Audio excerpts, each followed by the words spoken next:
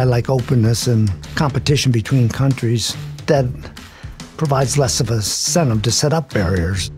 There just isn't any scientific authority that can investigate business ideas. You can't centralize it. It takes entrepreneurial judgment. And, and the entrepreneurs are often wrong too, but the, the ones, the lucky ones, will, uh, will make it. If you built a train that could go 300 kilometers an hour versus 125, that's great. But the track will not take more than 100 kilometers an hour. You'd be insane to drive it at 300. So until you got the track caught up, you would have to run it at less than full speed. But if you always say we're going to keep the speed limit at 100, you'll never have any innovation. Change involves some amounts of risk, and we have to deal with this. We have to design our systems so they encourage innovation and improvements. What we know today will change in the future.